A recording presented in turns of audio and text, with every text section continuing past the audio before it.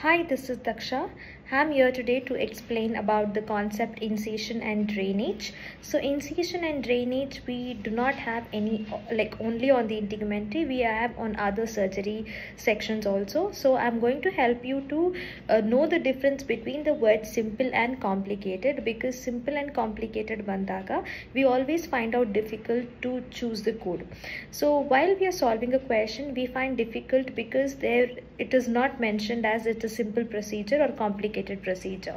So we have to see the procedure and then we have to decide whether we are going to code for simple or complicated.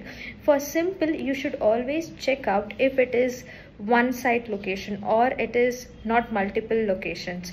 If the patient is having this procedure at only one area if it is one area please code it for the simple and if it is multiple area you can code it for the complicated. And the second thing you're going to follow is for simple it is a straightforward case. And for complicated it is not a straightforward case you will find that it is a complication and the drain tube placement is also performed. If you find the drain tube placement is performed or used you're going with the complicated word not for the simple. Simple is only for the straightforward okay? And the second thing is like you have to see whether it is uh, packing materials is performed or not. If the packing materials is performed go with complicated. If the packing materials is not performed you can go with simple.